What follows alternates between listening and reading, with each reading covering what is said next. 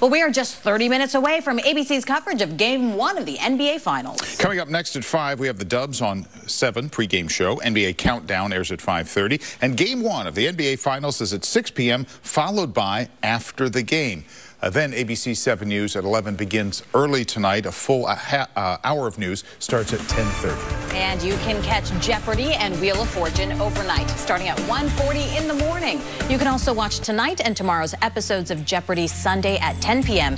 here on ABC 7. Thank you for joining us for ABC 7 News at 4. Our special edition of Dubs on 7 pregame show is next.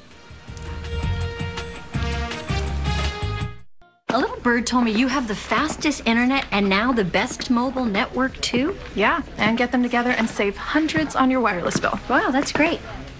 Oh, and this looks great. Are these words for sale? No. Now, the fastest, most reliable internet can help you save on your wireless bill. That's simple, easy, awesome. Should I stop her?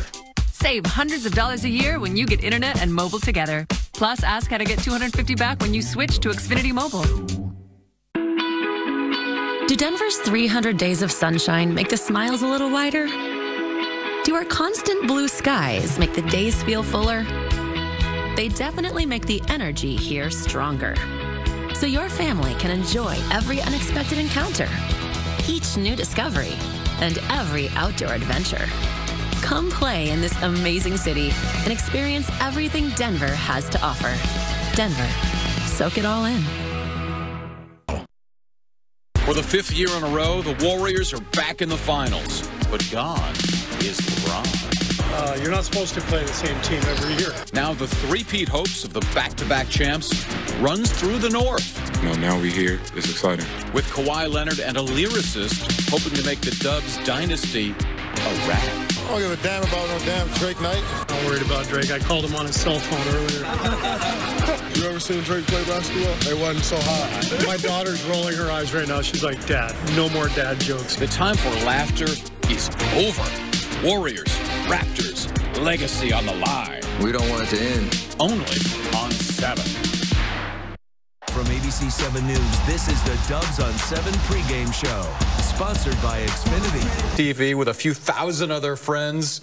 And here's Andre Iguodala. This is live inside the arena in Toronto, getting his shots up. They've been waiting for this moment in Toronto for 24 years. Raptors in the finals. Jimmy Goldstein is there. He's uh, an NBA and entertainment icon. He's at virtually every finals, all the playoff games. He travels all over the world to watch big time NBA basketball as we welcome you in to the Dubs on 7 pregame show brought to you by Xfinity. Larry Beil along with the coach, Kerry Keating. Now, Steve Kerr, he started this season talking about joy. It's going to be a joyful run. Six or seven months, more of a roller coaster, really complicated by some inner turmoil, some rumors, some injuries.